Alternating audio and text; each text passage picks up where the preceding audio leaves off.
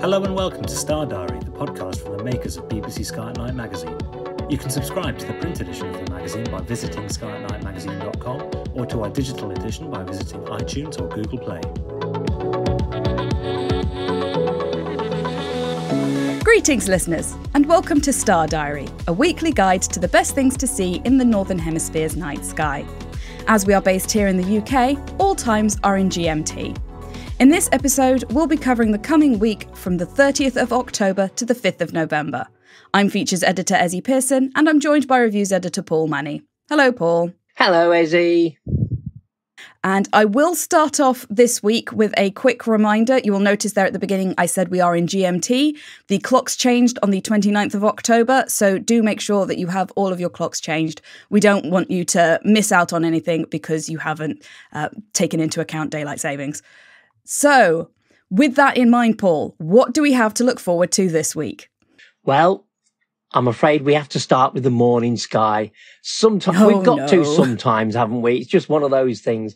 But uh, we we look around about 5 a.m. in the morning sky, and it's a quite a wide field view because we've got a range of things to just briefly tick off. We've got Jupiter up in the sky, but Uranus with the moon above Uranus and the Pleiades to their left. So that's Messier 45. Um, minor planet Vesta lies in Gemini. That's around about magnitude 7.8, something like that. So that, you know, but it's binocular view, so you can still get it. And Comet 103P Hartley, uh, is in southern Cancer as well. It's around about eighth magnitude, but it's worth going for. And any photographers out there, of course, will be able to record it quite well. Uh, finally, Venus. I I mean, it's just absolutely brilliant at the moment in the morning. It's a dazzling beacon in the morning sky, and that's over in the east southeast. So this is looking around about 5 a.m. This is just before we start to get the onset of twilight, morning twilight coming in.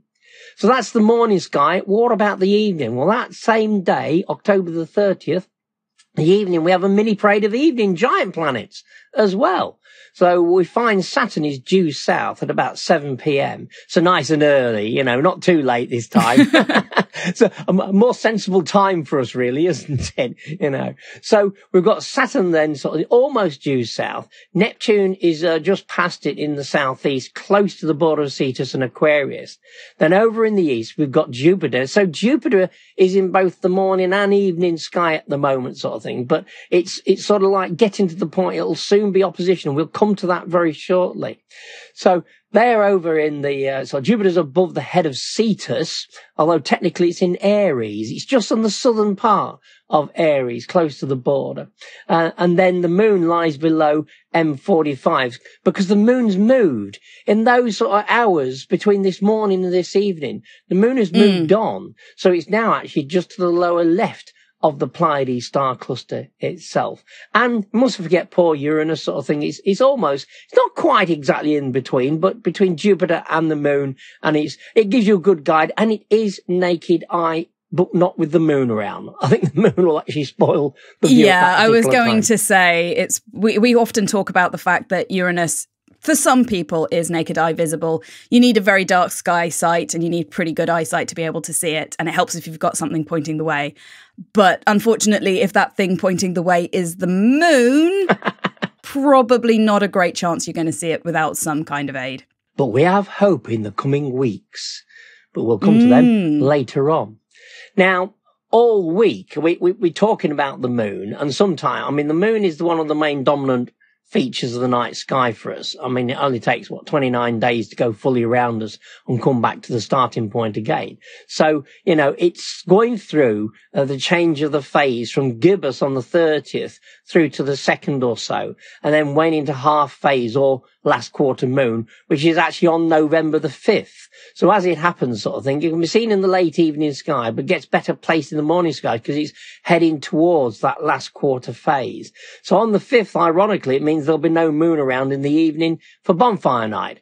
Now that could be a good or a bad thing because you know if if it's it's nice for astrophotographers to get the the fireworks uh, in the sky, and if you can see the foreground, you've got an interesting foreground as well.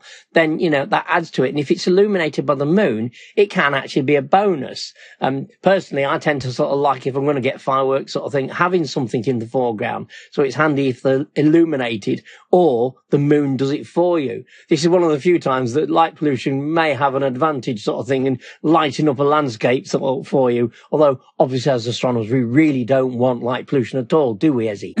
I, I do have to say, it's quite unusual to hear uh, an astrophotographer or an astronomer talking about um, bonfire night like that as an opportunity to take some more unusual photographs because one of the big problems with bonfire night is as well as putting a bunch of light into the air it also puts a lot of smoke and dust which means it's so, quite often not the best night to be doing um, astronomy, but there are still things that you can see and image in the night sky. Uh, it's just they're man made this time.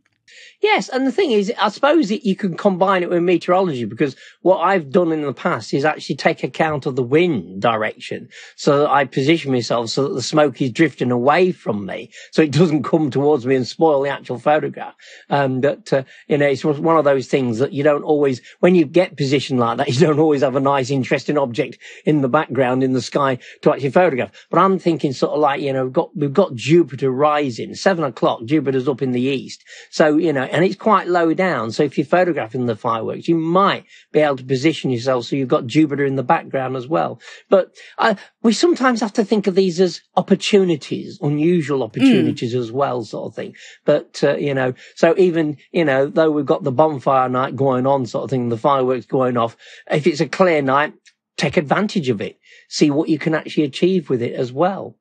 But that was all week with the moon as it's gradually dropping down towards last quarter, which I say is actually on the 5th.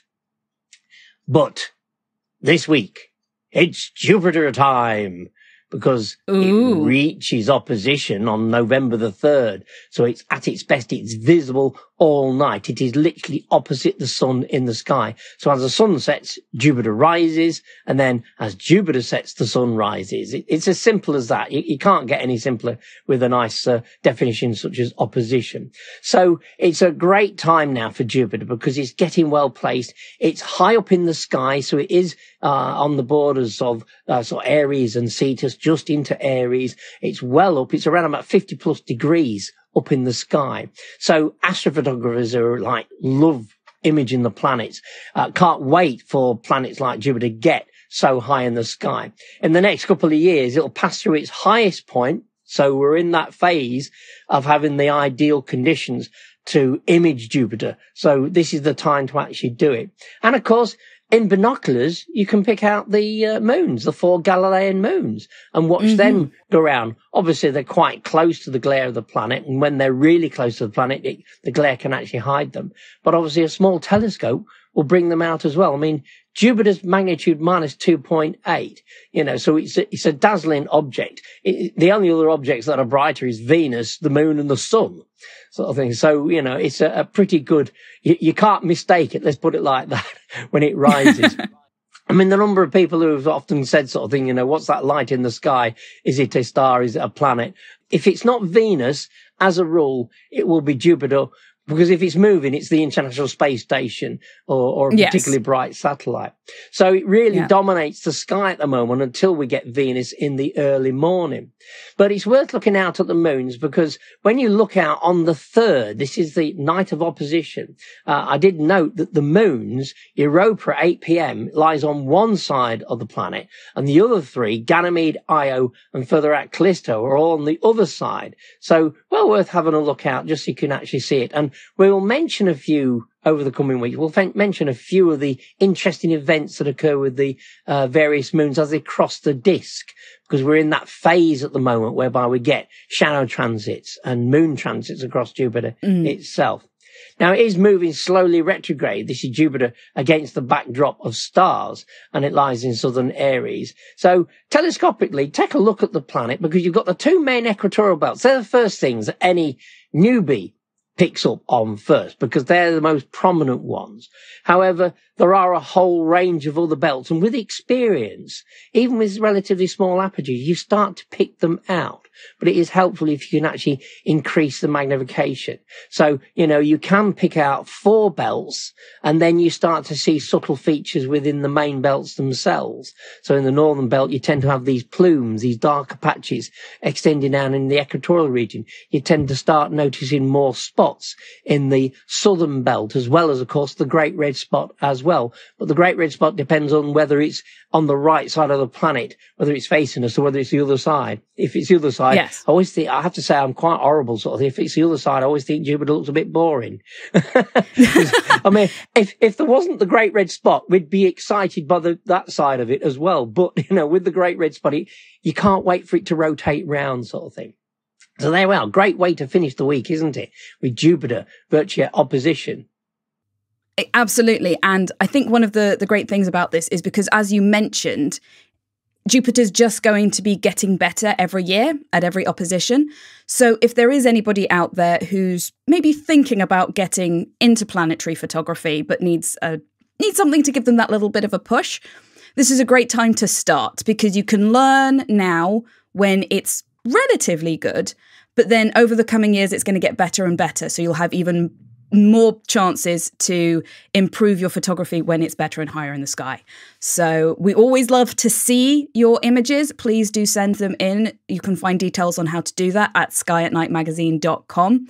I'll put a link down to that in the show notes below as well. So lots of great things to see. And I think also another thing you mentioned the fact that the moons are going to be very well placed because the moons are constantly going around Jupiter. I think is it Io that takes a week to go around? Takes less than that sort of thing. It's just a few days. No, Io yeah. Io is three and a half. It's the next one out. That's um, a week to go around. But the point is, they go around Jupiter very, very quickly, and so it's actually it's quite nice to be able to see all of them at once without one of them being behind the planet or in front of the planet. Because whilst you get shadow transits when that happens, you can't really see it through a telescope unless you're really focusing in on the planet. So it's I think it's a great opportunity to get to know Jupiter better if it's something that you're not particularly familiar with. And the fact it's at opposition, it's always a great excuse. And just because we can't see the great red spot, that doesn't mean there's not still really interesting and dynamic things to see going on on Jupiter. The belts don't stay the same. They do change and they do shift. They sometimes change colors. You can find out a lot more about that in our November issue of Sky at Night magazine. We have a feature all about Jupiter's shifting belts. So do be sure to look that up in the November issue of Sky at Night magazine if you want to find out more about that. But to summarise on that week, and it certainly looks like to be a jam packed week. Starting on the morning of the 30th, you'll be able to see lots of things in that morning sky. Jupiter and Uranus will be visible, as will the minor planet Vesta in Gemini, and also Comet 103P Hartley will still be making its way across the night sky. So if you haven't had a chance to see that yet, do be sure to look out for it in the morning sky. And also, we have Venus and the Pleiades, which will be well on view at the time. So lots to see. Uh, but if you're not a morning person, if you'd rather go for the evening, there's equally still a lot of interesting things to see there. We've got an evening parade of all of the major planets. Saturn, Neptune, Jupiter, and Uranus will all be visible in the evening sky. And also on the evening of the 30th, you'll be able to see the moon in the Pleiades as well. So lots to see there. On the 3rd of November, we have Jupiter in opposition. So that is a great time to really take advantage of that planet, get to know it better if you don't know it very well, or just even take more advantage of being able to see it if it's one of your favorite things. So lots to go on throughout the week, lots of planet things going on, and also you'll have the moon changing its phases from gibbous to last quarter throughout the week. So very good to see there. And finally, of course, on the 5th of November, we'll be finishing off the week with fireworks night if you're here in the UK, which means it's possibly not the best night to be doing astronomy. If you want to take advantage of that last quarter moon, then you will be needing to pick your sites carefully to make sure that you're getting away from all of that firework smoke. Or you could take a chance to do a different kind of nighttime photography and maybe see if you can capture some of those fireworks on camera as well. Thank you for listening and do subscribe to the podcast to get even more highlights from the astronomy weeks coming up. And we hope to see you here next week. If you want to find out even more spectacular sights that will be gracing the night sky this month, be sure to pick up a copy of BBC Sky at Night magazine, where we have a 16 page pull out sky guide with a full overview of everything worth looking up for throughout the whole month. Whether you like to look at the moon, the planets, or the deep sky, whether you use binoculars, telescopes, or neither, our Sky Guide has got you covered, with detailed star charts to help you track your way across the night sky. From all of us here at BBC Sky at Night magazine, goodbye. Thank you for listening to this episode of the Star Diary podcast from the makers of BBC Sky at Night magazine. For more of our podcasts, visit our website at skynightmagazine.com or head to Acast, iTunes, or Spotify.